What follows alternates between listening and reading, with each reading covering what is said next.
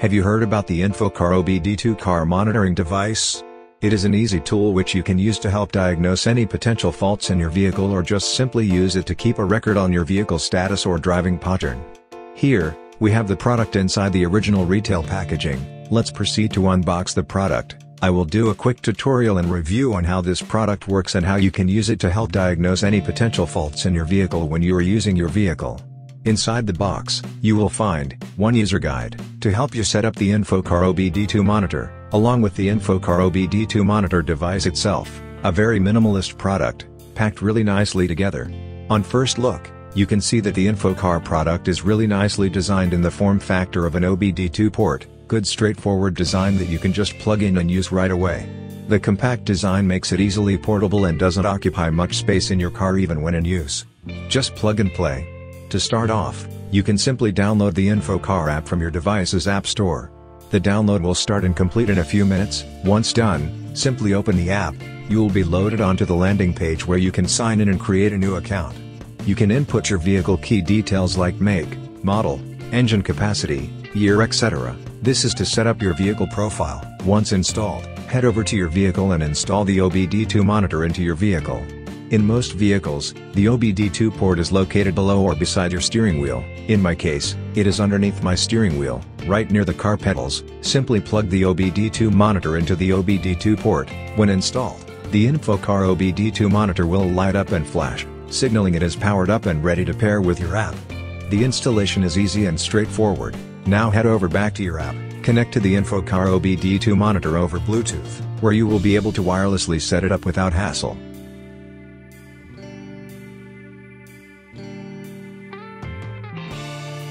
Just look how easily it is not connected to my smartphone over the InfoCar app.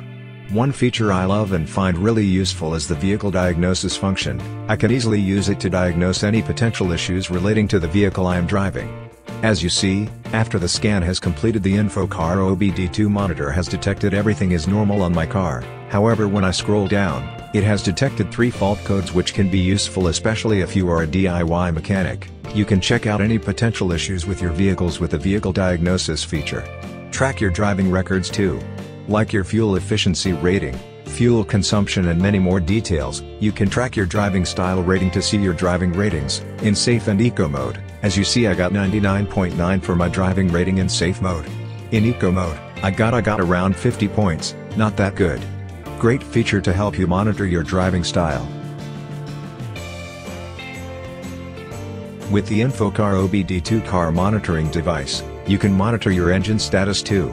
Like the temperature, pressure, load of the engine etc. These data are important especially if the levels are abnormal. You can see the figures and act appropriately by sending the car to the workshop. Such data is good to help diagnose any engine troubles. There is a driving dashboard which is really useful as all key data is loaded into a single page where you have easy access to it, like right here. I am idling the vehicle for a short while and the OBD2 monitor will alert me to shut down the car if I am not using instead of idling, a good thing to help improve the environment and improving fuel efficiency by not idling.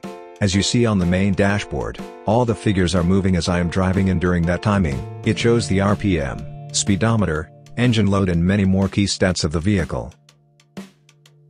There is also a head-up display feature where you can use it to see your speed compass and RPM. Good if you have a HUD kit in your car to use it. Other than the main data table on the dashboard, you can access more detailed data by sliding onto another panel in the monitoring section. Here as you see, there are many other data that can be used to diagnose any potential faults in my vehicle. This is a really comprehensive list of specs on my vehicle status.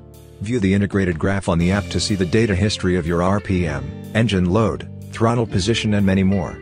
Overall, I find the InfoCar OBD2 monitor a really useful tool especially if you are a car enthusiast or a mechanic who would like a device to help you get to know your car better and diagnose any potential faults in your vehicle easily without the need for any complicated computers or software, as you can access key data on your vehicle with the InfoCar app, which I tried it out and was super easy to set up, use and analyze data on my vehicle.